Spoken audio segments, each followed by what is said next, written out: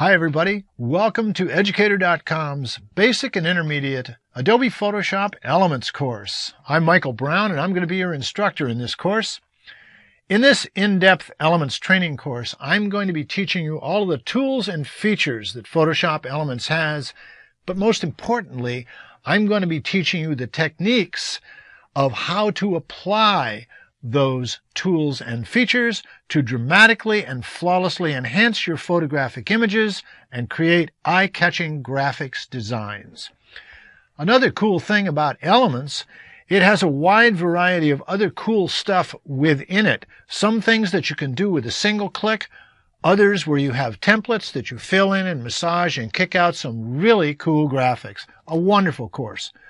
This training course applies primarily to Photoshop Elements 11, which is the interface that you're looking at right here, the latest version. We will be working totally in this interface. If you have Elements version 10, this course is equally good for you.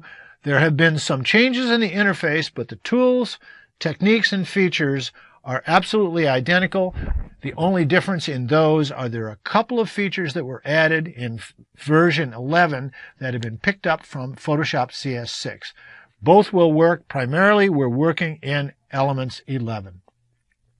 In this lesson, we're going to talk about how to learn Photoshop Elements, and I'm going to show you a start to finish demo and how to take an image from the camera and change it from good to great very easily and smoothly right here in Photoshop Elements to show you how this program works.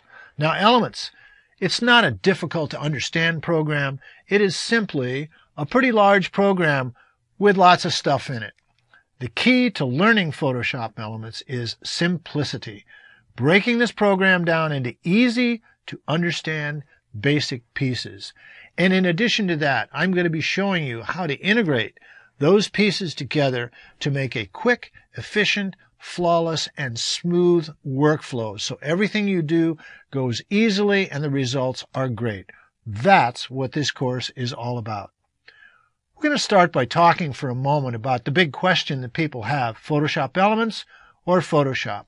Without question, Photoshop is the bomb, the big dog. It has everything you would ever want for image enhancement, for graphics, and for art.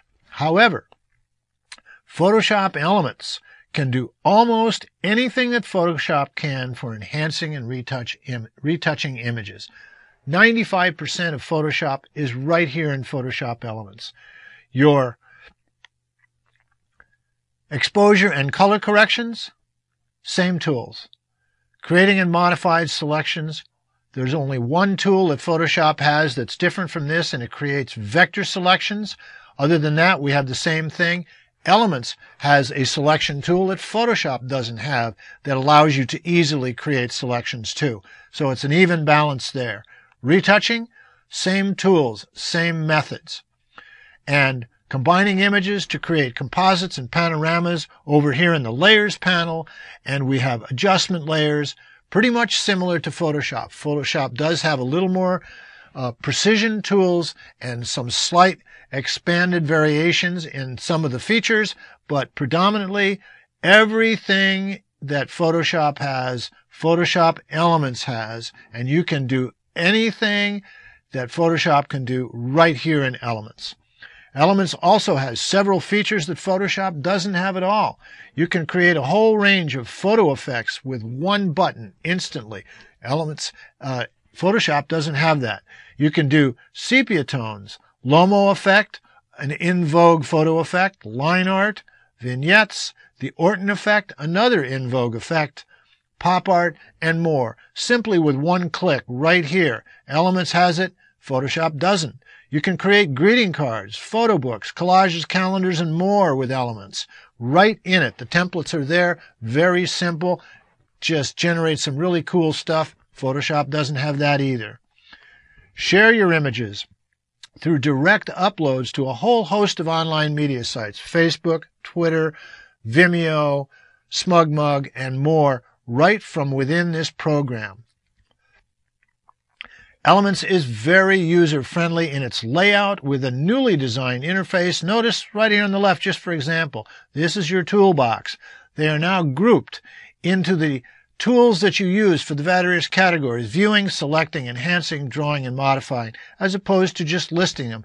Easier to access and understand where you need to go. The whole idea in Elements is to make things simple. A wonderful program. Elements 11 has also incorporated some great new features from Photoshop CS6. When CS6 came out, some of the features were incorporated right here into Elements so that you've got almost again everything that Photoshop has. Again, Photoshop is the professional level version. It has expanded and more precision tools and features, but Elements is absolutely amazing. Photoshop Elements is a fantastic program for image enhancement and graphic design for beginning and intermediate use. Once you're fluent with Elements, if you ever decide you need the additional features or more precise controls of Photoshop, the interface, the tools, and the methods are almost identical, so the transition would be perfectly seamless. This is a great program. I cannot overemphasize that. Now, Photoshop Elements is actually three separate programs in one. We have the organizer, which is for editing, sorting, and rating your images. You bring them into the program from outside sources, from folders, or from the camera. Organizer is accessible right here by clicking on this button, and it will open the program. Just takes a couple of seconds. And there it is. There is, we're going to go whoop, back to organizer again. I kicked the button.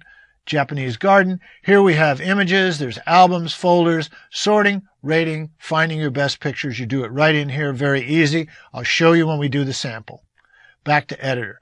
Camera Raw is another program contained within Elements for use only with RAW files. If you're shooting JPEG or shoot TIFF, they'll come directly into editor. But if you shoot RAW, they'll open up in Camera Raw. I'll show you that um, in a minute.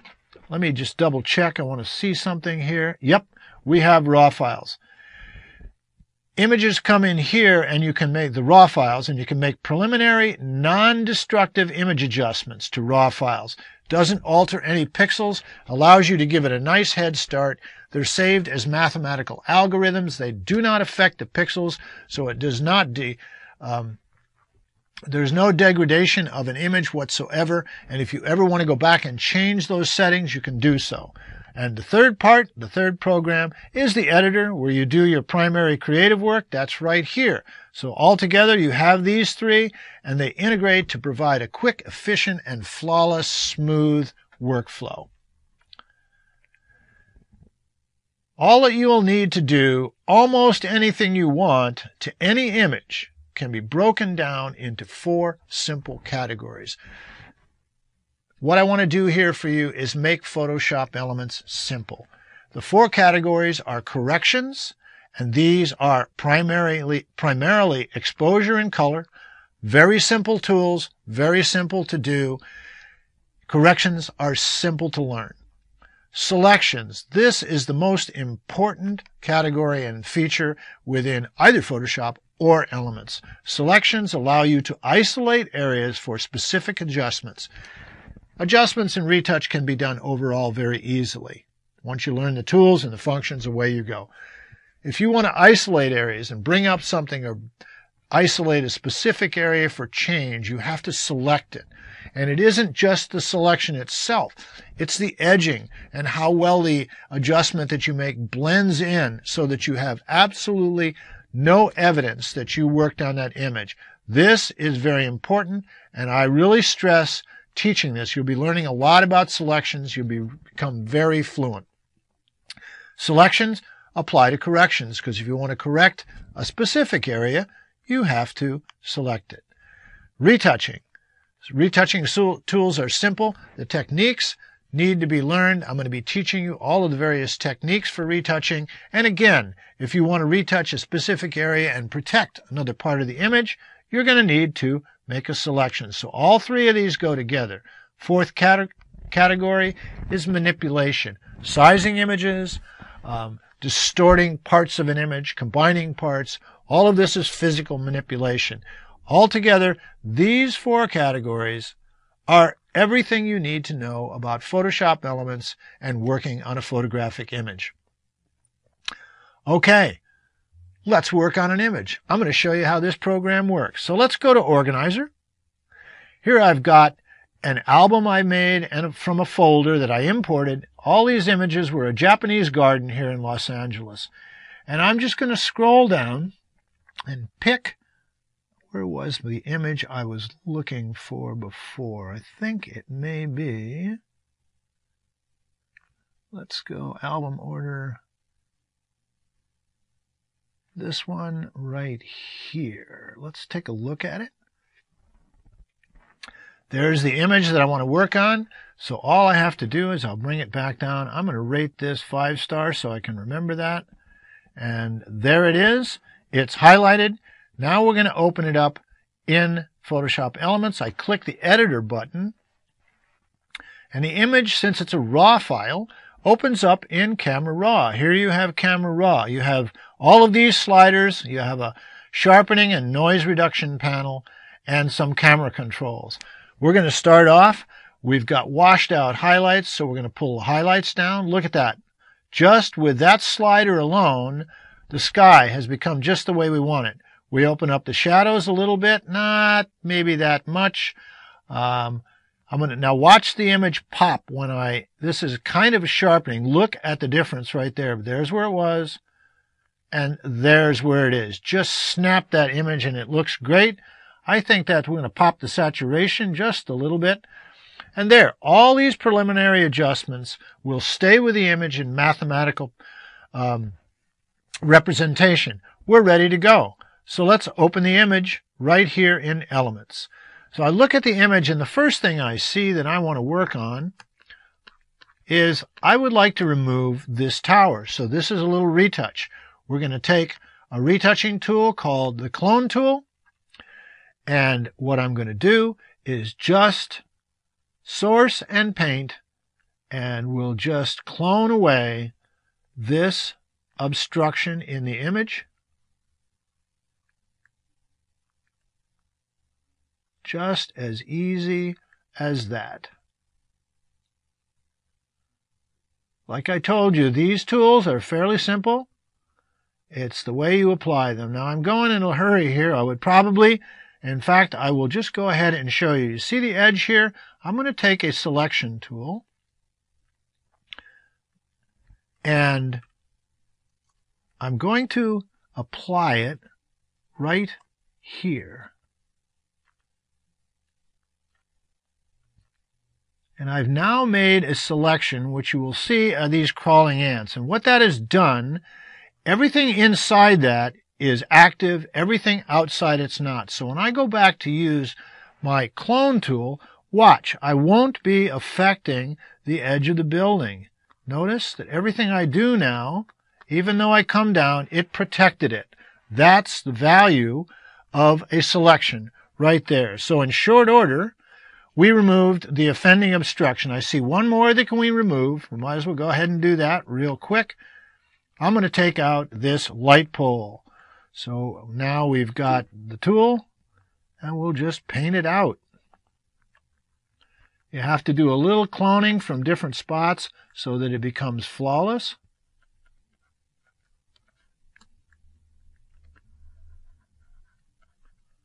There we go. I could probably take one more out right here. And there. In almost no time at all, we've removed any of the physical evidence around there. That looks pretty good. Now, I look at this image and I go, it's a little bright on the building and a little dark in the foreground. So let's make another selection. I'm going to pick a selection tool. This is the selection brush. This tool doesn't even appear in Photoshop. It has a different kind of a version. But right here, what we're going to do is we're just going to paint on the building.